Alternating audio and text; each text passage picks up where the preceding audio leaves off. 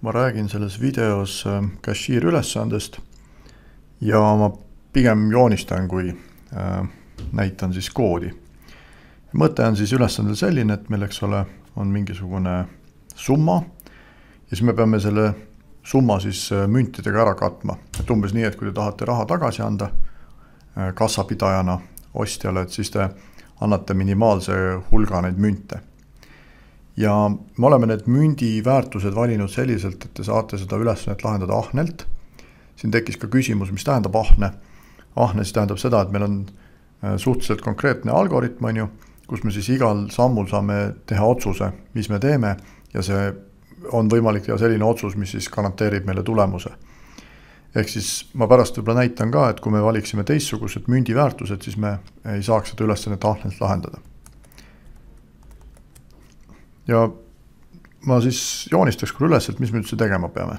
et meil on sisuliselt on, eks ole, mingisugune äh, hulk, mida me siis peame täitma nii-öelda äramüntidega, et see on meil noh, antud juhul näiteks ma teen sedasama kuuskümmend kolm näite. ja nüüd me kuuekümne kolme sisse siis peame, selle peame ära täitma siis erinevate müntidega. ja oletame, et kui need mündid on, eks ole, on mingisugune sihuke kogus münte, mis siis oli viiskümmend, on ju. siis meil oli vist kakskümmend kakskümmend. et muidugi need suurused ei ole proportsionaalsed, on ju, see oli kümme. ja on viis ja üks. üks tuleb nüüd küll eriti väike. viis ja see ongi üks. ja mis me siis peame tegema, on ju see, et me hakkame nii-öelda järjest, noh just selle ahne algoritmi mõte on see, et me saame neid nagu järjest võtta, et me võtame kõige suurema mündi, proovime teda siia sisse panna. kui ta mahub, siis nii-öelda täidame selle osa ära, mis jääb, noh antud juhul jääb järgi on ju kolmteist. siis proovime jälle, et noh, seda suuremat enam ei mahu, proovime seda kahtekümmet siia sisse panna. see ka ei mahu, siis proovime kümmet panna, noh kuna kümme mahub, siis jääb, alles jääb, on ju meil kolm. ja noh, siis äh, samamoodi ükski nendest ei mahu, viis ka ei mahu, üks mahuks, on ju, ja siis neid ühtesid läheb kolm korda. ehk siis sisuliselt jah, me võime öelda, et me paneme ühe viiekümnese, neid läheb null, on ju, ühe kümnese ja üheseid läheb kolm tükki et kui see näide oleks näiteks, ähm, võime siin veel ühe läbi proovida, noh, siin oli küll kuni sajani, on ju, et teeme siis ka ühe näite, kus siis on näiteks meil nelikümmend üheksa vaja ära täita. et kuna viitekümmet siia sisse ei lähe, no siis me võime kohe öelda, et see on null, on ju, et, et neid ei mahu. nüüd äh, kahekümneseid läheb siia sisse, eks ole, äh, noh, me näeme ära, et kaks tükki. mida me võime teha, me võime teha ta kahes sammus põhimõtteliselt, et me kõigepealt paneme ühe kahekümnese saame kakskümmend üheksa ja siis paneme teise kahekümnese, saame üheksa, on ju. nii, siis me võtame kümnese, kuna kümme siia sisse enam ei mahu, on ju. siis võtame järgmise mündi, mis on viis, on ju. no viite läheb üks kord siia sisse, siis jääb alles neli. ja siis me paneme nii-öelda neli münti, paneme siin neid üheseid. nüüd see, nagu ma ennem siin tegin läbi, et ma tegin kahes sammus selle, on ju. siis põhimõtteliselt on võimalik see ka nagu ühes sammus ära teha ja noh, täpselt sellise operatsiooniga, et ma siis vaatan, on ju, et äh, mitu korda see kakskümmend sinna neljakümne üheksa sisse mahub, on ju. noh, selleks me siis saame sisuliselt teha mingisuguse jagamise ja noh, kuna ta läks kaks korda, siis see nii-öelda ongi see väärtus, et palju korda me seda siis nii-öelda korrutama peame, seda münti. ja noh, see, mis siis üle jääb, on ju, kuna siit jäi üle jäi üheksa, on ju, on siis nii-öelda see jääk eks need on need kaks operatsiooni, mis te peate tegema, no siin on mõistlik kasutada seda kahte jagamist, et siis saate täisarvulise tulemuse. ehk siis nende kahega, kahega opereerides saategi selle nii-öelda tulemuse kätte.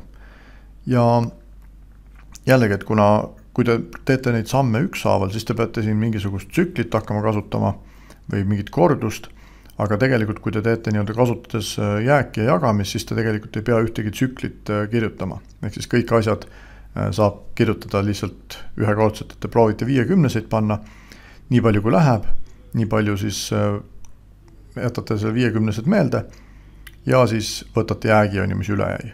no selles mõttes, et kui te nüüd neljakümne üheksaga siit võtaksite jäägi, on ju, noh, ütleme, et kui ma siin teeks läbi, siis nelikümmend üheksa jagatud viiekümnega, on ju, annab meile nulli, mis on, eks ole, sobib meile ja kui ma võtan nüüd jäägi sellest, äh, mis siis meil jääb, see nelikümmend üheksa viiekümnest siis jääk on, eks ole, nelikümmend üheksa.